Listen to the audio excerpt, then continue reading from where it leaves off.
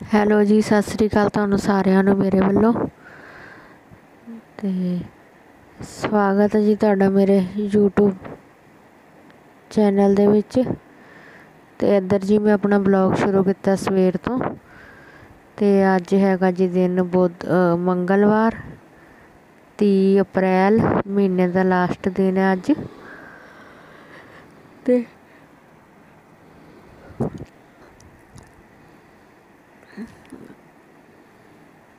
ਅੱਜ ਮੌਸਮ ਠੀਕ ਹੈਗਾ, ਮੀਂਹ ਮੂੰਹ ਦਾ ਨਹੀਂ ਹੈਗਾ, ਅੱਜ ਮੌਸਮ। ਕੱਲ ਤਾਂ ਥੋੜ੍ਹਾ ਬਹੁਤਾ ਮੀਂਹ ਪੈਂਦਾ ਰਿਹਾ ਸੀ, ਬੱਦਲ ਬੁੱਦਲ ਹੁੰਦੇ ਰਹੇ ਸੀ, ਹਵਾ ਹੁਵਾ ਬਹੁਤ ਜ਼ਿਆਦਾ ਚੱਲਦੀ ਰਹੀ ਸੀ। ਅੱਜ ਠੀਕ ਹੈ ਮੌਸਮ। ਅਤੇ ਇੱਧਰ ਜੀ ਟਿੰਡੇ ਲਿਆਂਦੇ ਹੋਏ ਸੀ ਮੰਡੀਓ। ਤਿੰਨ ਚਾਰ ਦਿਨ ਹੋ ਗਏ ਸੀਗੇ। ਅਤੇ ਫਰਿੱਜ ਦੇ ਵਿੱਚੋਂ ਹੁਣ ਕੱਢ ਕੇ ਲਿਆਂਦੇ ਆ ਮੈਂ। ਅਤੇ ਨਾਲ ਨਾਲ ਮੈਂ ਟਿੰਡੇ ਵਗੈਰਾ ਛਿੱਲ ਕੇ ਰੱਖ ਲਏ ਸੀਗੇ। ਅਤੇ ਉਸ ਤੋਂ ਬਾਅਦ ਜੀ ਫਿਰ ਮੈਂ ਨਹਾ ਨੂੰ ਕੇ ਆ ਗਈ ਸੀਗੀ, ਸਫ਼ਾਈ ਵਗੈਰਾ ਕੀਤੀ, ਭਾਂਡੇ ਵਗੈਰਾ ਕੀਤੇ ਨੇ।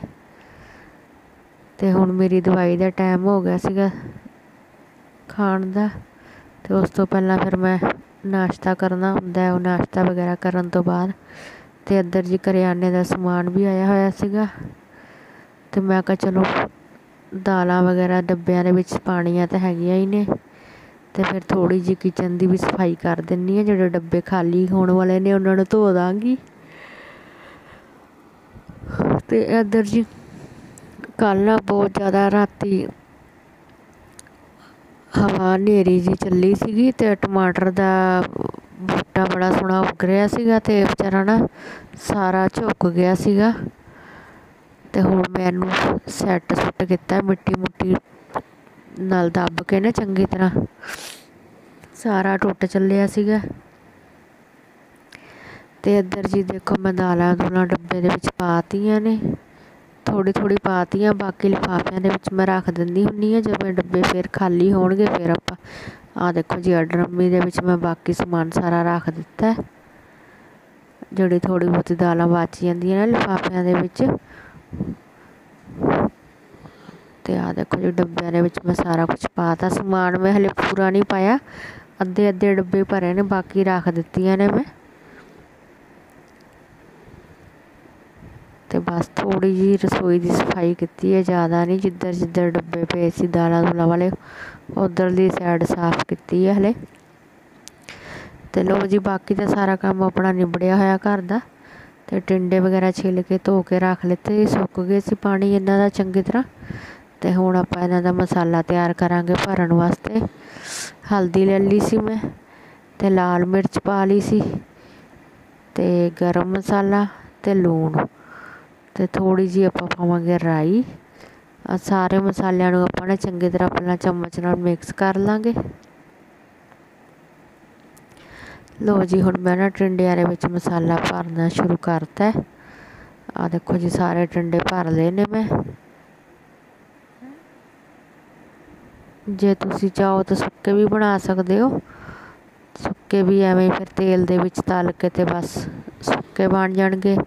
ਤੇ ਮੈਂ ਬਣਾਵਾਂਗੀ ਜੀ ਗ੍ਰੇਵੀ ਵਾਲੇ।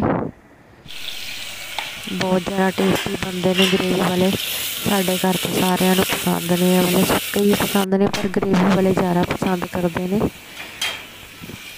ਤੇ ਇੱਧਰ ਜੀ ਗ੍ਰੇਵੀ ਲਈ ਮੈਂ ਪਿਆਜ਼ ਟਮਾਟਰ ਹਰੀ ਮਿਰਚ ਅਦਰਕ ਤੇ ਲਸਣ ਨੂੰ ਆਪਾਂ ਮੋਟਾ ਮੋਟਾ ਪੀਸ ਲਿਆ ਸੀਗਾ ਤੇ ਤੇਲ ਦੇ ਵਿੱਚ ਆਪਾਂ ਜੀਰਾ ਪਾਤਾ ਸੀਗਾ ਤੇਲ ਚੰਗੀ ਤਰ੍ਹਾਂ ਗਰਮ ਹੋ ਗਿਆ ਸੀ ਫਿਰ ਆਪਾਂ ਜੀ ਆਪਣਾ ਸਾਰਾ ਮਸਾਲਾ ਵਗੈਰਾ ਚੰਗੀ ਤਰ੍ਹਾਂ ਭੁੰਨ ਕੇ ਤੇ ਉਸ ਤੋਂ ਬਾਅਦ ਹੁਣ ਕੁੱਕਰ ਕਾਫੀ ਜ਼ਿਆਦਾ ਗਰਮ ਹੋ ਗਿਆ ਸੀਗਾ ਤੇ ਕੁੱਕਰ ਨੂੰ ਨਾ ਮੈਂ ਗੈਸ ਤੋਂ ਉਤਾਰ ਲਿਆ ਹੁਣ ਆਪਾਂ ਸਾਰੇ ਟਿੰਡੇ ਨੇ ਇਹਦੇ ਵਿੱਚ ਰੱਖ ਦਿੱਤੇ ਨੇ ਕੁੱਕਰ ਦੇ, ਮਸਾਲੇ ਦੇ ਵਿੱਚ ਹੀ।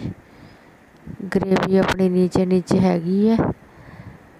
ਸਾਰੇ ਆਪਾਂ ਟੰਡੇ ਇੱਦਾਂ ਹੀ ਸੈੱਟ ਕਰਕੇ ਨਾ ਕੁੱਕਰ ਦੇ ਵਿੱਚ ਰੱਖ ਦਿੱਤੇ ਨੇ ਸਿੱਧੇ ਸਿੱਧੇ। ਮਸਾਲੇ ਵਾਲਾ ਪਾਸਾ ਜਿੱਥੇ ਟੱਕ ਲੱਗਿਆ ਉਹਨੂੰ ਆਪਾਂ ਉੱਪਰ ਕਰਾਂਗੇ।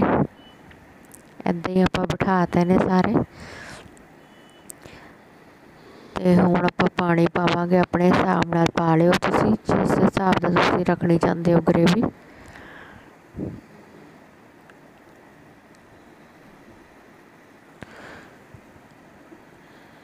ਤੇ ਜਿਹੜਾ ਬਾਕੀ ਦਾ ਬਚਿਆ ਹੋਇਆ ਮਸਾਲਾ ਵੀ ਮੈਂ ਉਹਦੇ, ਇਹਦੇ ਉੱਤੇ ਹੀ ਧੋੜ ਦਾਂਗੀ, ਟਿੰਡਿਆਂ ਦੇ ਉੱਤੇ। ਤੇ ਹੁਣ ਜੀ ਮੈਂ ਨਾ ਅੱਧੇ ਗਲਾਸ, ਇੱਕ ਗਲਾਸ ਤੋਂ ਉੱਤੇ ਥੋੜਾ ਪਾਣੀ ਪਾਤਾ ਅਤੇ ਬਸ ਇਹਨੂੰ ਆਪਾਂ ਦੋ ਸੀਟੀਆਂ ਲਵਾ ਲਾਂਗੇ।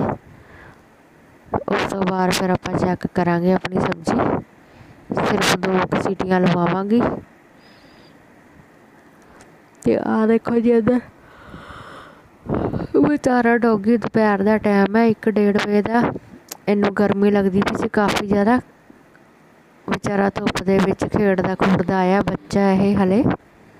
ਅਤੇ ਇੱਥੇ ਮੈਂ ਡੋਂਗੇ ਦੇ ਵਿੱਚ ਨਾ ਪਾਣੀ ਭਰ ਕੇ ਰੱਖਦੀ ਹਾਂ ਲਾਜ਼ਮੀ ਅਤੇ ਵਿਚਾਰੇ ਨਾਸ ਲੱਗੀ ਸੀ ਪਹਿਲਾਂ ਪਾਣੀ ਪੀਤਾ ਇਹਨੇ।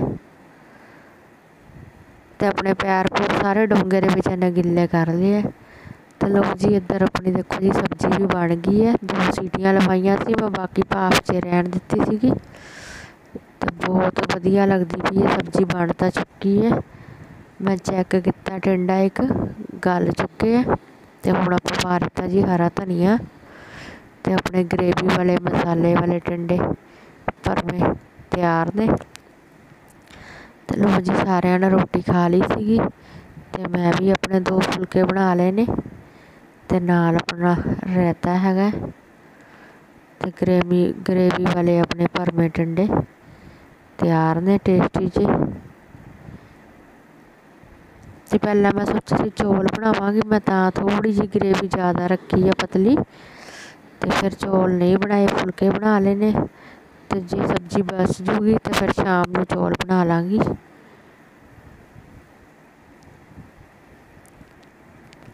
ਅਤੇ ਕਾਫੀ ਵਧੀਆ ਤਿੱਖੀ ਬਣੀ ਸੀ ਸਬਜ਼ੀ ਕਰਾਰੀ ਜੀ।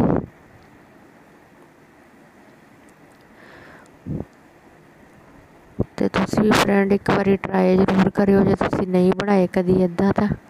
ਬਣਾ ਕੇ ਜ਼ਰੂਰ ਦੇਖਿਓ, ਆਪਣੇ ਫੈਮਿਲੀ ਮੈਂਬਰ ਨੂੰ ਬਣਾ ਕੇ ਜ਼ਰੂਰ ਖਵਾਇਓ ਇੱਦਾਂ ਤੇ ਮੈਨੂੰ ਕਮੈਂਟ ਕਰਕੇ ਵੀ ਜ਼ਰੂਰ ਦੱਸਿਓ, ਤੁਹਾਡੇ ਟਿੰਡੇ ਦੀ ਸਬਜ਼ੀ ਕਿੱਦਾਂ ਬਣੀ ਸੀਗੀ ਇੱਦਾਂ ਮੇਰੇ ਵਾਲੇ ਤਰੀਕੇ ਨਾਲ।